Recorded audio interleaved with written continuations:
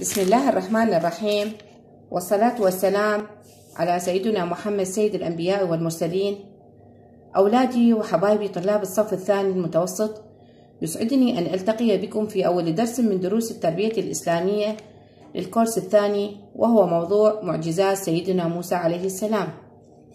الأنبياء المرسلون هم عبرة للمؤمنين وهم الهدى للحائرين.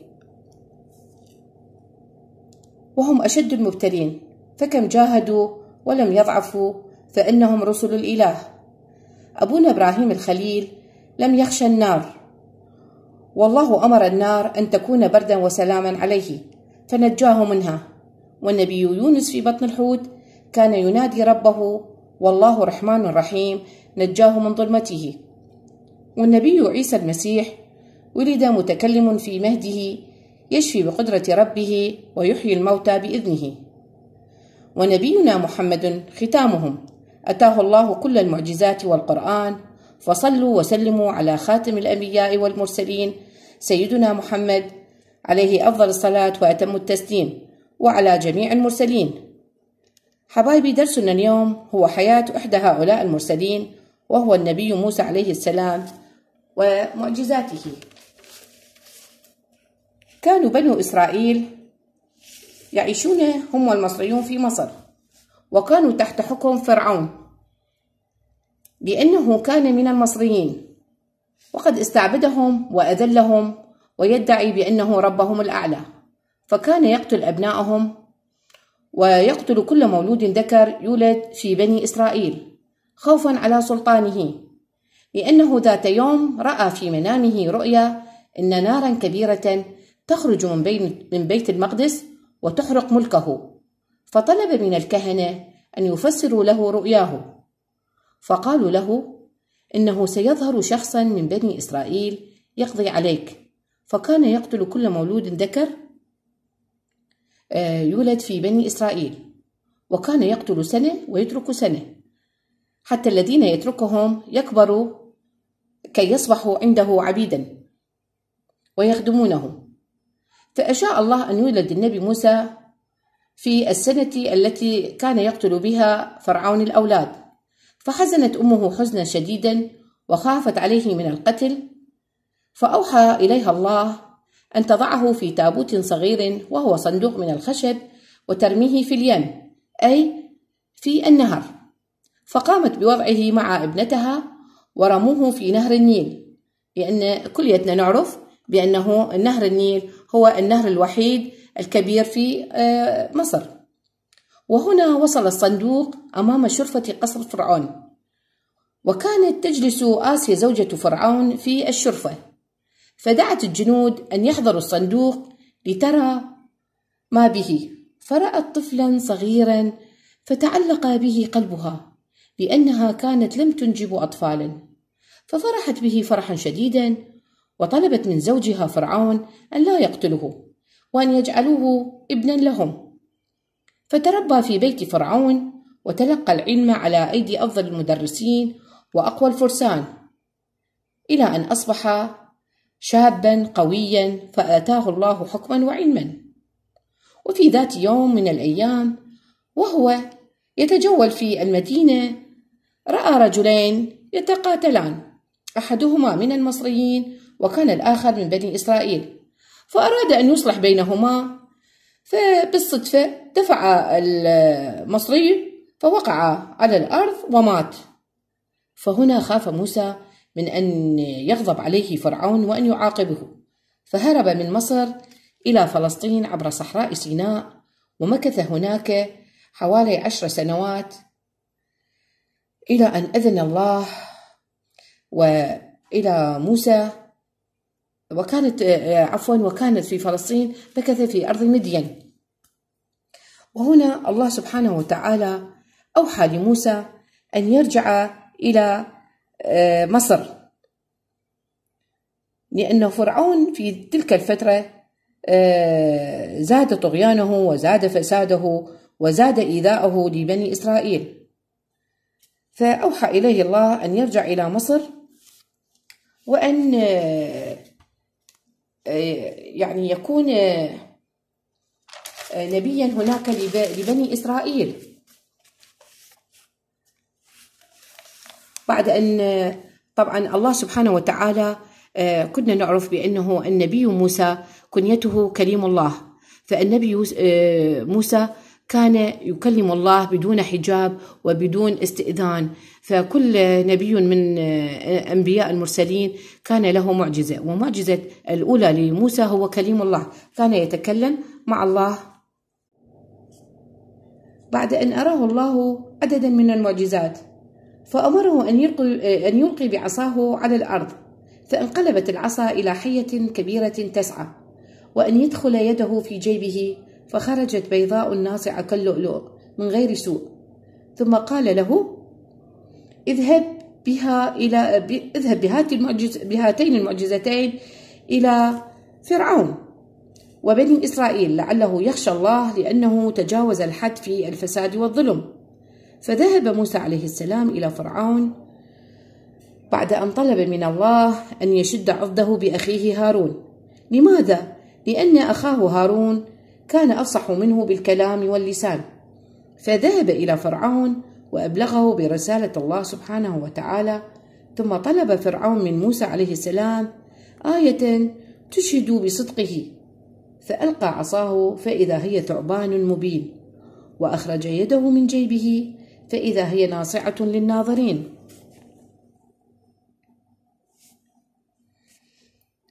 فإذا هي ناصعة للناظرين.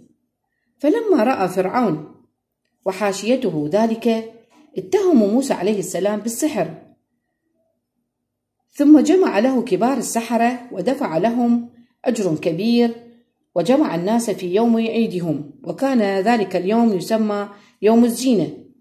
فألقى السحرة بحبالهم وعصيهم ثم ألقى موسى عليه السلام عصاه فإذا هي ثعبان كبير أكلت ثعابين السحرة وحبالهم. فهنا نصر الله موسى عليه السلام على السحرة وبطل كيدهم وسحرهم وآمن السحرة برب موسى. ولما آمن السحرة برب موسى قطع فرعون أيديهم وأرجلهم وربطهم على الأشجار وصلبهم. ثم أشار آه ثم أشار قوم فرعون بقتل موسى عليه السلام. لئلا يتبعه الناس في الأرض. فحينما كانوا يفكرون بقتله دفعت المروءة رجل من آل فرعون كان يكتم إيمانه فدافع عن موسى عليه السلام وقال إن كان كاذبا فلن يضرنا وإن كان صادقا يصيبنا ببعض الذي يعدنا به فلم يستجيبوا بل زادوا في طغيانهم وتعذيبهم للمؤمنين. فدعا موسى عليه السلام عليهم فعاقبهم الله وابتلاهم بسبعة من البلاء. أول البلاءات وهنا ابتلاهم الله بسبعة من أنواع البلاء. فكان البلاء الأول هو جفاف شديد فأصبحت الأرض يابسة لا زرع فيها ونقص في الثمرات. والبلاء الثاني الطوفان فجاء طوفان كبير وأغرق الزرع آه، كله. ومن ثم الجراد الذي أكل الزرع وبعده القمل والذي كان يقضي على الحبوب. ومن ثم أنزل عليهم الضفادع. والبلاء السادس تحول آه، آه، ماءهم إلى دم عدة أيام. ومن ثم أصابهم بالطاعون وعندما ازداد طغيان فرعون جاء الأمر الإلهي بالفرج فأمر الله موسى عليه السلام أن يخرج ببني إسرائيل من مصر سرا. فلما علم فرعون جمع جيشا كبيرا لملاحقة موسى وقومه وترك فرعون وراءه. وهنا جهز آه، قلنا آه، فرعون جيشه وترك أمواله وبساتينه وجناته ولحق بموسى ومع ومن معه. فوصل آه، إلى موسى هو وجنده مع شروق الشمس عند ساحل البحر الأحمر. فأوحى الله إلى موسى عليه السلام أن اضرب بعصاك البحر فانفلق هنا البحر. وهذه معجزة أخرى من المعجزات التي أعطاها الله إلى موسى. فضرب بعصاه البحر فانفلق البحر وسار موسى عليه السلام ومن معه وعبروا ونجى الله موسى ومن معه إلى الضفة الأخرى. وعندما ألحق بهم فرعون فطبق الله عليهم الأمواج الهائلة الكبيرة أمواج البحر فغرق فرعون وغرق معه جنوده وهنا رب العالمين قضى على فرعون ونجى موسى عليه السلام. وسار النبي موسى بعدها مع بنو إسرائيل الذين أيدوه إلى الأرض المقدسة وفي الطريق أصابهم العطش. فشكوا إلى موسى فدعا ربه أن يسقيهم. فأوحى إليه الله أن اضرب بعصاك الحجر فانفجرت اثنا عشر عينا. فشربوا وأرتووا ورووا عطشهم. وهنا آه، نستشهد بالآية الكريمة. قال الله بسم الله الرحمن الرحيم.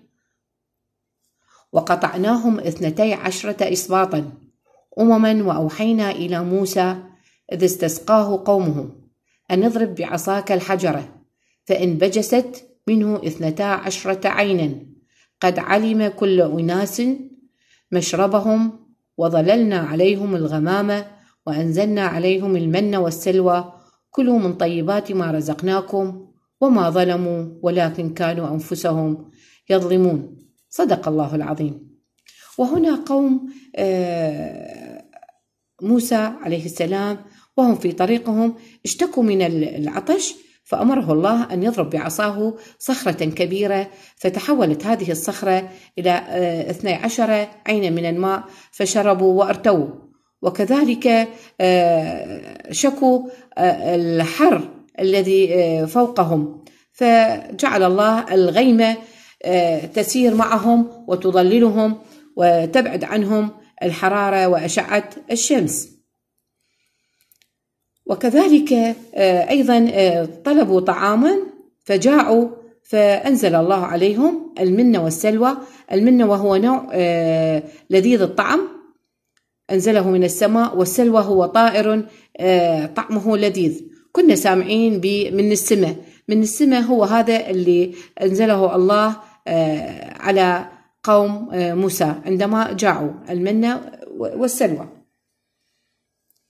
وهنا الله سبحانه وتعالى آه، نجى موسى ومن معه وأنزل عليهم ولكنهم كل هذه الطيبات التي أنزلها آه، ظلوا يشتكون ويطلبون طعام آخر. فقالوا له بأن هذا طعام واحد. يعني إحنا ما يعجبنا أن نظل على نوع واحد من الطعام.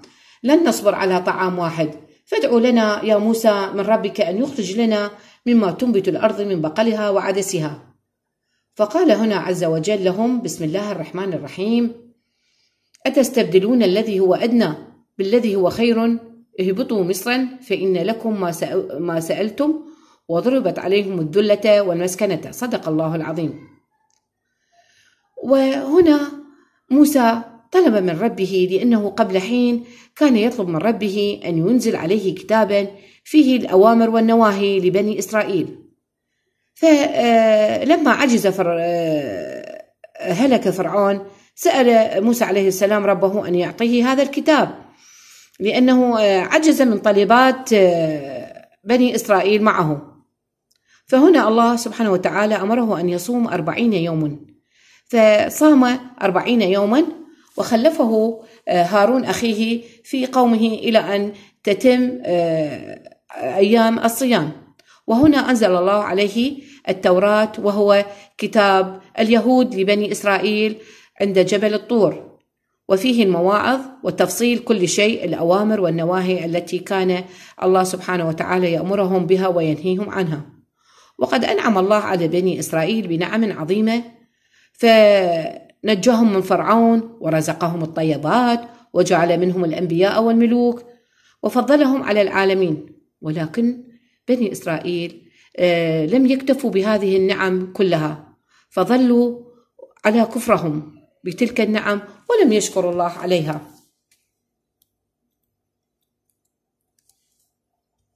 وظل اليهود على فسادهم وطغيانهم وتحريفهم وأرسل الله إلى بني إسرائيل كثيرا من الأنبياء والرسل ولكن ردوهم لكي يردوهم إلى الصراط المستقيم. آه، فقسم منهم آمن وقسم منهم كفروا. فهذه كانت هي قصة بسيطة مبسطة عن معجزات النبي موسى وحياته مع بني إسرائيل. فكنا نعرف بأن قسم من بني إسرائيل أسلموا وآمنوا برب موسى والقسم الآخر بقوا على كفرهم ودينهم إلى هذا اليوم. فإلى هنا حبايبي طلابي ينتهي موضوع آه، موسى عليه السلام. ف آه، ويا رب إحنا هم ندعو الله مثل ما نجى. آه، نجى النبي موسى من فرعون وأن ينجينا من هذا الوباء الذي خيم علينا وعلى العالم كله وهو فيروس الكورونا. فيا رب برحمة الله يرحمنا وينجينا من هذا البلاء ومن هذه الوباء. فأتمنى لكم أتمنى لكم كل السعادة وكل الموفقية ويا رب يوفقكم ويبعد عنكم كل شر. حبايبي الواجب اللي أطلبه منكم أن الآية تحفظوها لأجل الشرح تستشهدون بها بالشرح. والواجب أن تحلون المناقشة اللي موجودة في صفحة 61 ويا ربي إن شاء الله أشوفكم بخير وسلامة وأشكركم لأنكم أصغيتم لي. ويا ربي إن شاء الله ما يطول بعادنا ويكون اللقاء قريب بيناتنا. وإلى هنا ينتهي درسنا. وشكرا وإلى اللقاء.